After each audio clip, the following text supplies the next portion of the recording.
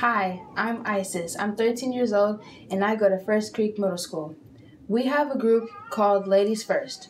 We talk about self defense and academic situations. Miss Franklin and Miss Church will try their best to help you learn from your mistakes that you will regret later on in life. Hi, I'm Taylor, and Girls' Choice is a group that helps girls talk about their feelings. Kids probably think that it's weird and just another group that teachers want them to join, but it actually helps girls a lot about relationship problems and anything you want to talk about. It's safe in our group. Hi, my name is Sabrina Maria Sia, and I wanted to tell you about the Girls Club. It's a very good club that you can be yourself and you can talk and where you can learn new stuff about it. They help you, they explain to you, and they can help you with your life and stuff. It's fun, you get to make new friends, and like I get to hang out with a lot of new people. Hi, my name is Abuk. What I am looking forward to in Ladies First is for Miss Church and Miss Franklin to help girls and ladies become more important. I believe that ladies can change the world. Hi, my name is Oksana. I am at First Creek Middle School and I'm in sixth grade.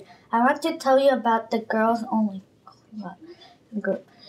That group is about it tells you about life experience, relationships, friendships, and it helps you with your life and get to know each other and helps you a lot. Hi, my name is T'wina Franklin. And my name is Tasha Church. And we are coordinators for the Ladies First program at First Creek Middle School. Ladies First is an in school program dedicated to empowering young women to make healthy decisions, promote free thinking, and cultural awareness in their everyday lives. We want to encourage youth to build safe communities, confidence, and trust.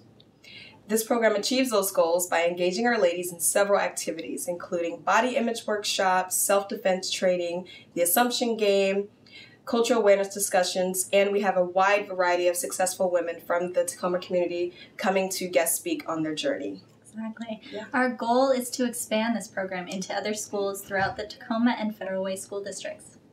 Our values include empowering, informing, educating, connecting, cross cultural relationships, critical thinking, and positive decision making.